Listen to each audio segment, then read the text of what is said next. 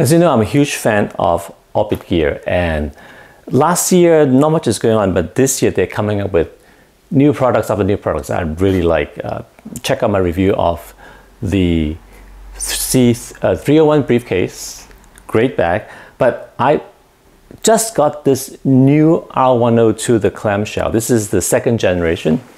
This is the one that is, I think, a special release. It's called Urban something, the, the blue uh, X-Pac fabric. There are regular versions of this as well. And I always like this bag. I had a review of the first gen. I use that bag a lot because I just found that it's a very cool looking bag. And there are some problems. The second gen here fixed a lot of it. So this is a, a really, really fun bag. Not perfect, but fun. I'm not doing a full review. I literally just got this, loaded it up, about to take it up, but I thought, hey, let's make a video. So this is just a very, very quick look of it. So if you are not familiar with the clamshell um, model, what makes it so special? It, it has this kind of egg turtle shell like um, shape. The bottom is slanted, so it doesn't sit up well. This is one of the problems. So that is kind of the design of the bag, so I'm not going to fault it. And what's so neat about it is this slanted bottom is covered with real leather. So this is multi-pane, so it's not a single, single um, sheet of leather, but it feels really good uh, to the hand. It's gonna get, get marked up, but it's just a cool looking bag. And the clamshell design is such that it only comes down to here. So this is not a full clamshell. There are, you know, six, maybe more inches of bottom here. And that makes the bag very useful because I load the bottom of the bag with stuff that I don't want falling out. And that works really well. So what's new about this guy that I like? The front, if you remember the, the original, it has a single, very small zipper with a kind of a pocket in there that's not very useful. I still use it, but it, it's not easy to get in and out of, and it's not that big. Well, they completely changed that. Now the front has, yeah, three compartments here. The center zip opens up to a space that has a little bit of volume, I would say, because you can stuff it and then this, this fabric would just come out. Inside, it has two elastic um, pockets, which is good for you know narrower things. And my snack pouch, uh, this is the Able Carry, um, I don't remember what this is called, but it actually fits in there quite well. Or you can just put a pair of gloves or something in here. So this becomes a useful compartment, but that's not all. The flaps, the wing side, if you like, are also pockets. Now they're very thin and narrow, so not a lot of stuff can go in there, but things that fits are on this side my keys. So there is actually a key leash there. That's why I said, hey, I'm gonna put the keys on this side. But again, snacks, you know, tissue, packs, stuff like that will fit in there. So it is kind of a strange design, but it does work. Um, sides, the straps all around it for good reasons. There are lots of little uh, space that you can hook, hook, use them to hook uh, things onto, but also side handles. That's cool. The both sides now have these clips, which obviously you can use to attach other orbit gear or other accessories. A little disappointing that um, it's plastic, so they're using plastic hardware now. There's more to that. And let's see what else. I love this back panel. This is a standard back panel. It's just padded enough. Uh, you can put in their optional uh, hip belt. not sure why you need it, but it's also a luggage pass-through, so that's great. The little secret compartment in the back is actually quite wide, so I can just fit my hand in there. Um, so it's good for a wallet or something that you want to keep safe. Uh, laptop compartments in the back. Suspended, very well padded. My 13 inch basically disappears in there. It's in here somewhere. And then there's space for more stuff. Um, there's no organization in the front. Uh, I guess this would be the only thing that I wish there was a little bit of something here that I can use, but this is a very standard orbit gear design.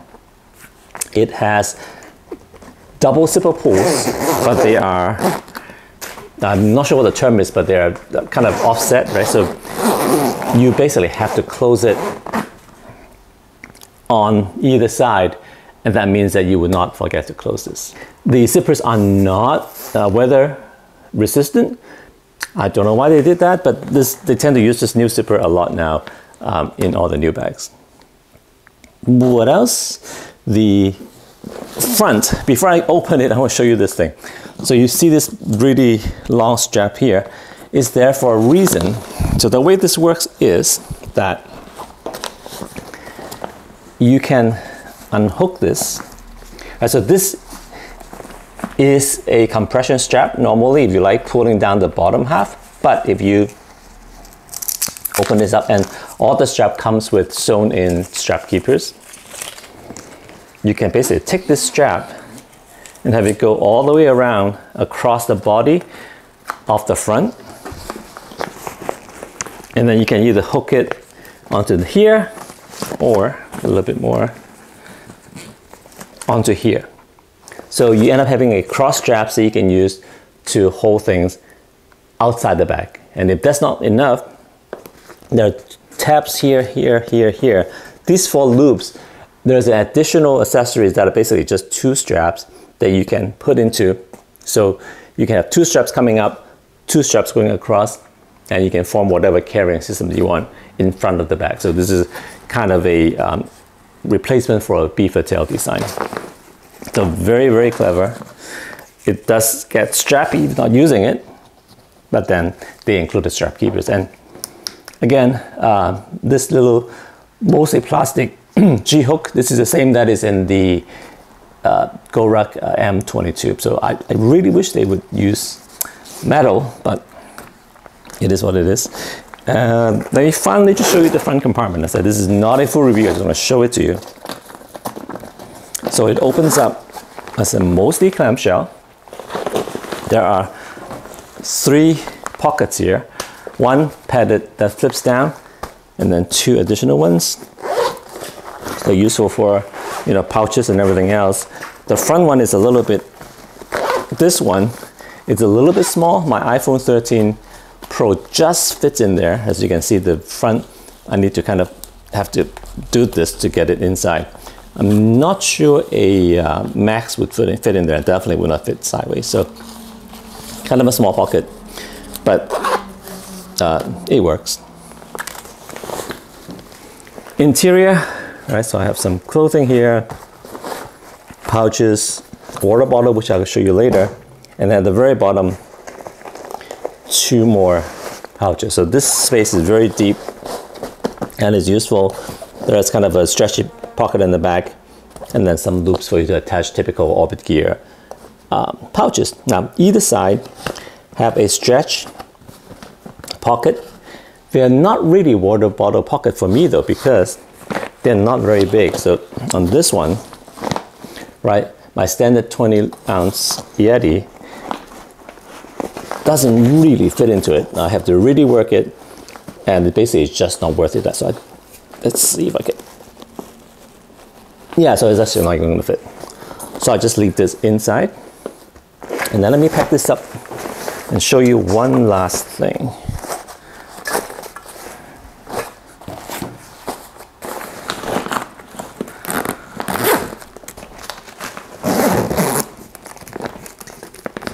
The zippers are kind of beefy but very smooth, right? So even though you can see the corner being new, it is kind of uh, angled the wrong way, but I really have no problem getting the zipper around these corners. So even as a new bag, um, zipper that is tight, it still works out of the box. One last thing, so like this, this bag is full of surprises. It's hard to see, but here and here are two additional zippers. So this zipper actually opens into a very thin and narrow pocket. Too narrow for water bottle. For regular size water bottle, this is one of my favorite uh, little water bottle from Muji. They're very, very affordable. this guy just kind of fit in there with a little bit of encouragement. So again, lots of these vertical pockets, you know, I think they're good for pens and, and I don't know what, whatever softer, thinner material. But the one on this side actually opens into the main compartment. So I was hoping that this lets me use the water bottle pocket here, but again, that pocket is too small for my Yeti.